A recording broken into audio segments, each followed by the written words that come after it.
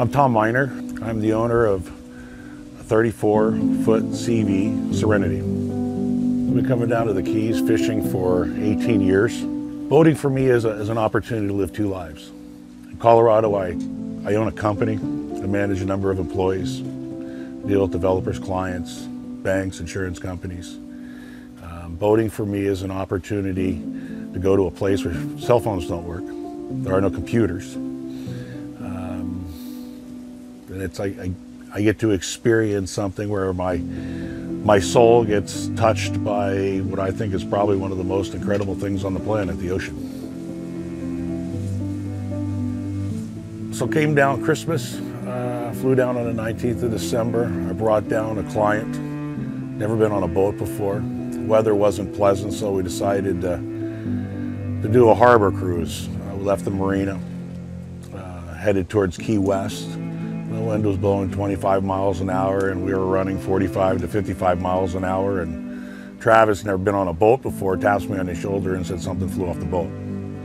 So I came off a plane and I'm running around the boat like a chicken with my head cut off trying to figure out what happened.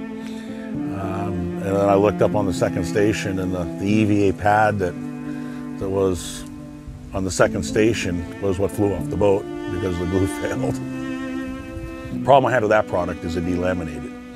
Um, and about six months to eight months into owning the product, it started coming off of the deck and I was having to continuously reapply glue and have new kits made and it replaced. Um, and then about six months ago, the installer of my original EVA product um, had worked with me through issues with that product and then when enough was enough, he was the one that stepped up and introduced me to Reflex and, uh, you know, helped me get a product on my boat that is performing to my expectations.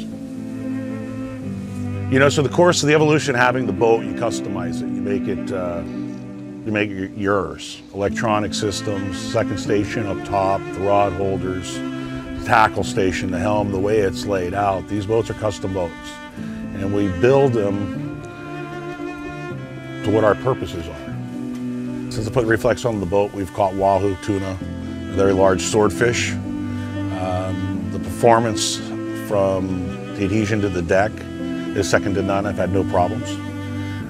And the cleanup of the product is significantly easier than my original EVA foam. Um, and that's the change we made because of the inadequacies of the other product.